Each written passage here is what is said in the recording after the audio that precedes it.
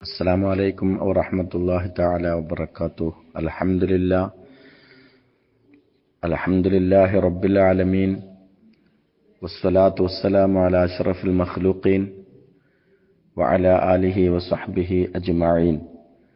عن حذيفة رضي الله عنه قال جاء أهل نجران إلى رسول الله صلى الله عليه وسلم فقالوا يا رسول الله ابعث إلينا رجلا أمينا فقال لأبعثن إليكم رجلا أمينا حق أمين حق أمين قال فاستشرف لها الناس قال فبعث أبا عبيدة بن الجراح رضي الله عنه ഇമാം സയ്യിദന ഹുദൈഫ് റളിയല്ലാഹു നിവേദനം ചെയ്യുകയാണ് നജറാൻ നിവാസികൾ തിരുനബി സല്ലല്ലാഹു അലൈഹി വസല്ലം തങ്ങളുടെ അടുക്കൽ വന്നിട്ട് പറഞ്ഞു അള്ളാഹുവിന്റെ റസൂലെ സല്ലാ അലൈഹി വസല്ലം ഞങ്ങളിലേക്ക് വിശ്വസ്തനായ ഒരാളെ അങ്ങ് അയക്കണം.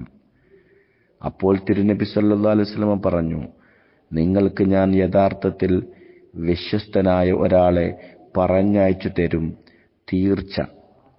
നിവേദകൻ പറയുകയാണ് ഫസ്തഷ്റഫ ലഹന്നാസു ജനങ്ങളെല്ലാം ആ സ്ഥാനം ലഭിക്കാൻ ആഗ്രഹിച്ചു. അങ്ങനെ നബി സല്ലാ അലൈഹി സ്വലം അബൂ ഉബൈദത്ത് ബിനുൽ ജറാഹ് അള്ളാഹു അനഹുവിനെ അവരോടൊപ്പം പറഞ്ഞയച്ചു. ഇമാം മുസ്ലിം റലി അൻഹു റിപ്പോർട്ട് ചെയ്ത ഹദീസ്. നോക്കൂ. ഒരു നജറ നിവാസികൾ വന്ന് വിശ്വസ്തനായ ഒരാളെ പറഞ്ഞയക്കണം എന്ന് പറയാൻ പ്രബോധനത്തിന് വേണ്ടി. അപ്പോൾ തിരുനബി സല്ലല്ലാഹു അലൈഹി വസല്ലം പറഞ്ഞു ശരി ഞാനൊരു അമീനിനെ നിങ്ങളുടെ കൂടെ പറഞ്ഞയക്കാം. റജുലൻ അമീനൻ. വിശ്വസ്തതയ്ക്ക് വലിയ സ്ഥാനമുണ്ടെന്ന് പരിശുദ്ധമായ ദീൻ നമ്മളെ പഠിപ്പിക്കുകയാണ്.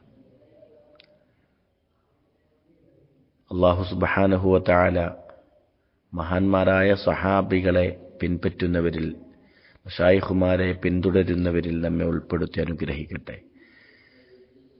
വിശ്വസ്തതയോടുകൂടി ഉറച്ച ഈമാനോടുകൂടി കാമിലായ ഒരു മുഗ്മിനായി തീരാൻ അള്ളാഹു തൗഫീഖ് പ്രദാനം ചെയ്യട്ടെ.